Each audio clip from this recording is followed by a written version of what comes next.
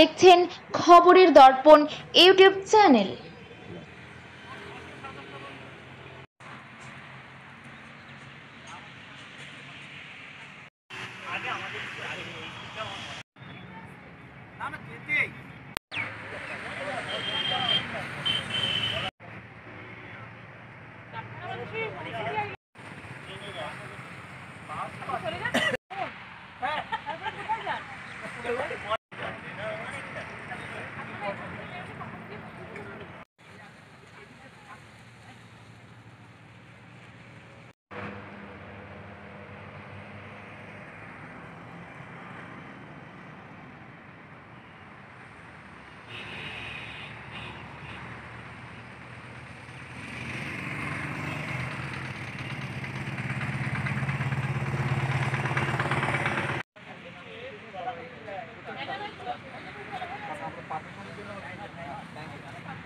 এর মাঝখানে কি কালকে আসছো?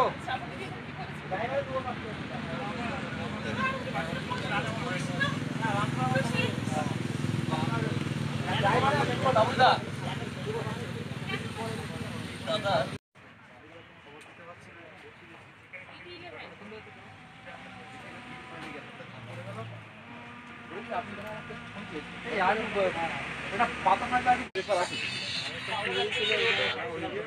হ্যাঁ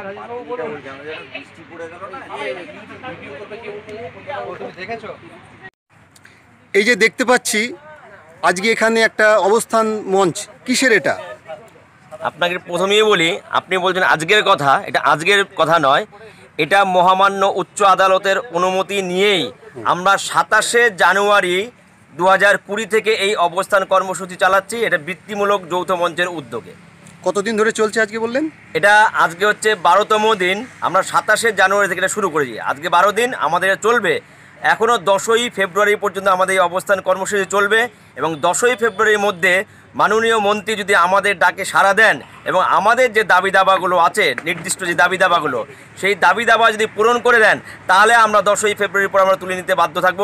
আর যদি না মানেন আমাদের দাবিগুলো, তাহলে দশই দশই জানু দশই ফেব্রুয়ারির পর থেকে কন্টিনিউ আমাদের প্রসেস চলবে এবং এই প্রসেসটা আমরা দশই ফেব্রুয়ারির পর আমরা নিউ টাউন বাস স্ট্যান্ডে আমরা এই অবস্থান কর্মসূচি চালাবো পরবর্তী সময় এবং সেটা হাইকোর্টের নির্দেশেই আমরা করব এটা অর্থাৎ এখান থেকে জায়গার পরিবর্তন হবে? অবশ্যই জায়গার পরিবর্তন অবশ্যই হবে আচ্ছা এই যে এই যে বৃত্তিমূলক শাখা এটা কত সালে শুরু হয়েছিল? আমরা দু হাজার পাঁচ সালে তৎকালীন পশ্চিমবঙ্গ সরকার বৃত্তিমূলক বিভাগ চালু করে কর্মসংস্থানের জন্য এবং বিকল্প কর্মসংস্থানকে মাথায় রেখে এখানে ছাত্রছাত্রীরা অর্থাৎ নতুন প্রজন্মের ছেলেমেয়েরা হাতের কাজের মাধ্যমে যাতে তাদের জীবন জীবিকা নির্ধারণ করতে পারে, নির্বাহ করতে পারে, সেই উদ্দেশ্যকে রেখে এবং এর সঙ্গে যুক্ত যে সমস্ত শিক্ষক, প্রশিক্ষক আমরা আছি, তাদেরও যাতে জীবন জীবিকার সুরাহা হয়, সেই পথ দিয়ে শুরু হয়েছিল। যে উদ্দেশ্যে এটা তৎকালীন সরকার শুরু করেছিল এবং যে ভালো পথের দিকে যাচ্ছিল, আমরা ভেবেছিলাম পরিবর্তনের পরে শিক আর্থসামাজিক দিক থেকে আমাদের একটা সম্মানজনক জায়গা এবং ছাত্রছাত্রীদের উজ্জ্বল ভবিষ্যৎ আশা করব। কিন্তু দেখা যাচ্ছে যে বর্তমান সরকার দু হাজার এগারো সালে প্রতিশ্রুতি দেওয়া সত্ত্বেও আমাদের ব্যাপারে অর্থাৎ বৃত্তিমূলক বিভাগ নিয়ে কোনো রকম হেলদোল করেনি। না করেছে ছাত্রছাত্রীদের স্বার্থ আর আমরা যারা যুক্ত তারা তিলে তিলে শুকিয়ে শুকিয়ে মরছি আমাদের দিকে কোনো রকম দৃষ্টি রাখছে না। অর্থাৎ অর্থনৈতিক দিক থেকে আপনাদের তেমন কোনো ব্যবস্থা এখনও পর্যন্ত সরকার করেননি। শুধু অর্থনৈতিক নয় আর্থ সামাজিক আমরা শিক্ষকের সম্মানও পর্যন্ত পাই না। এমন একটা পরিস্থিতিতে রয়েছে। বিগত দু হাজার দশ সালে বেতন বৃদ্ধির পর বর্তমান সরকার দু হাজার সতেরো সালের নভেম্বর মাসে আমাদের বেতন ক্লাস প্রতি মাত্র দশ টাকা বাড়িয়েছে।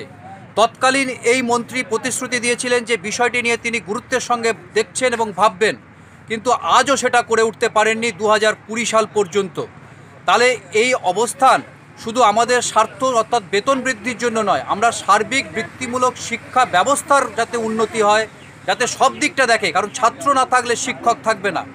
বহু স্কুলে শিক্ষক পদ শূন্য, সেখানে এই অল্প বেতনে একশো ষাট টাকা রোজে কাজ করে তাদের পোষায় না তারা ছেড়ে দিতে বাধ্য হয়েছে। তাদের জায়গায় কোনো নতুন নিয়োগ দু পরে নিয়োগ হয়নি। হয়নি। আচ্ছা আপনারা কি চাইছেন? কি চাইছেন এখন সরকারের কাছে? আমরা চাইছি অবিলম্বে বর্তমান আর্থসামাজিক দৃষ্টিভঙ্গিতে আমাদের বেতনটা বৃদ্ধি করা হোক। মহামান্য সুপ্রিম কোর্ট যে নির্দেশ দিয়েছে সমকাজে সমবেতন অর্থাৎ বর্তমান বাজার মূল্য অনুযায়ী একুশ হাজার টাকা প্রতি মাসে সেটা না হওয়া পর্যন্ত অন্তত আমাদের কিছুটা সম্মানজনক বেতন যাতে দেওয়া হয়। আমাদের শিক্ষক বন্ধুরা সর্বোচ্চ বেতন পায় ন হাজার টাকা। ভাবুন এই টাকাতে সংসার বর্তমান বাজারে চলে কি চলে না, একটা ছজনের পরিবার যদি সংসারে থাকে। যদি এখনও আমাদের খবরের দর্পণ চ্যানেলটি সাবস্ক্রাইব না করে থাকেন, তাহলে এখনই সাবস্ক্রাইব করুন, সঙ্গে বেল বাটনটি ক্লিক করুন, আর পেয়ে যান সব খবরের দ্রুত ভিডিও আপডেট।